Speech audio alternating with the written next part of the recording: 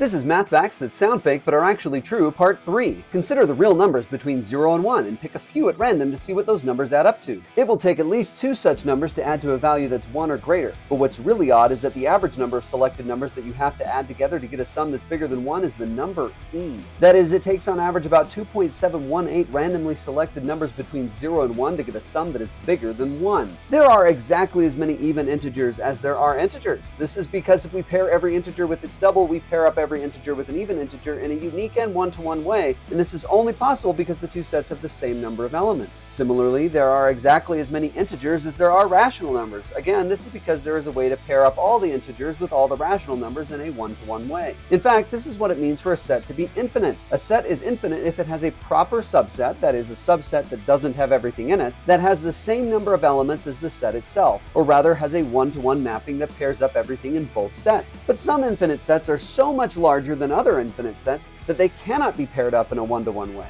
For example, there is no way to pair the integers with the real numbers in a one-to-one way that uses everything in both sets. So there are, not surprisingly, a strictly larger number of real numbers than integers. Any set that has a one-to-one pairing with the integers is called countably infinite because you can count them in some sense. Any infinite set that does not have a one-to-one pairing with the integers is called uncountably infinite. So the integers and the rational numbers are both countably infinite, but the real numbers are uncountably infinite. Next, consider a game show where you can pick one of three doors. One door has a prize behind it, but the other two doors have junk. If you pick one of these doors, you have a 1 in 3 chance of having selected the door with the prize. But what if the host then opens one of the two doors that you didn't pick and shows that it has junk behind it? Then they give you the option to switch your choice to the remaining door. Should you? Well, it turns out that you should, this is because you still have a 1 in 3 chance that your first choice was right, and hence a 2 out of 3 chance that it's wrong. That fact doesn't change when the host shows you that one of the two remaining doors has junk behind it. Thus, you have a 2 in 3 chance that the prize is behind the door that you didn't pick. That is, the remaining door is twice as likely to have the prize behind it than the door that you originally picked. If that's not enough, take this happy fact. If you take an integer and add the squares of its digits, you get a new number. If you take this new number and add the squares of its digits, you get yet another new number. If you continue to do this process, process over and over, some numbers will create a sequence that reduces to the number 1 and then it never changes again. Any number that does this is called a happy number, and any number that doesn't is called unhappy or sad. No, really, that's the name. You can look it up. What's really bizarre, though, is that every unhappy number, instead of creating a sequence that goes to 1, creates a sequence that ends up cycling through the number sequence 89, 145, 42, 20, 4, 16, 37, and 58 forever. Seriously, no matter how large the number, the sequence of the sum of the squares of the digits either eventually terminates to 1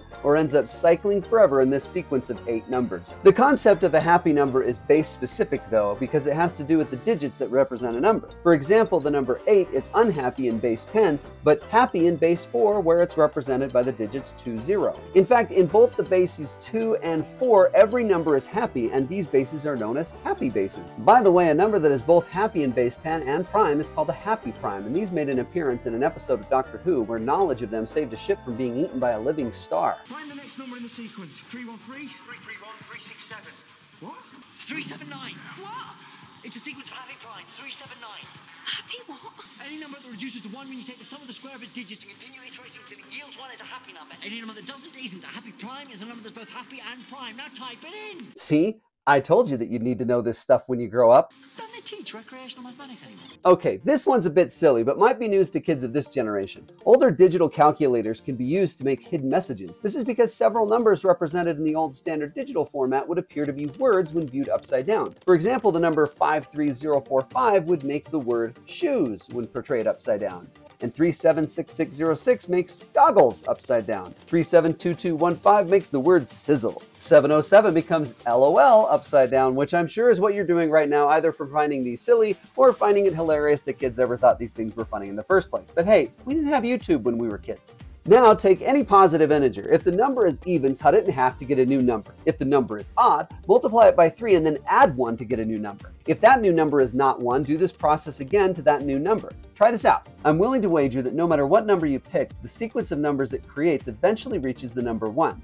In fact, humanity has never found a number that doesn't do this. But mathematicians have also never been able to prove that this sequence always eventually hits the number 1 no matter what number you start with. So this isn't quite a math fact per se, but just a really weird conjecture. This statement is called the Collatz conjecture, and it's been befuddling mathematicians for the better part of the last century. If you do happen to find such a number, send it to me and we might just get to publish a math paper together. But don't hold your breath. We've already had computers try this sequence for all the numbers from 1 to 2 to the 68th power, and every single one of those numbers produces a sequence that eventually hits the number 1. So if there is a number that does it, it's bigger than 2 to the 68th power. Well, that was math facts that sound fake but are actually true part 3. Let me know in the comments if you want to see a part 4. And don't forget to like this video and subscribe to Scholar Sauce. We're getting closer to a thousand subscribers every single day, so help us out, and we'll see you next time.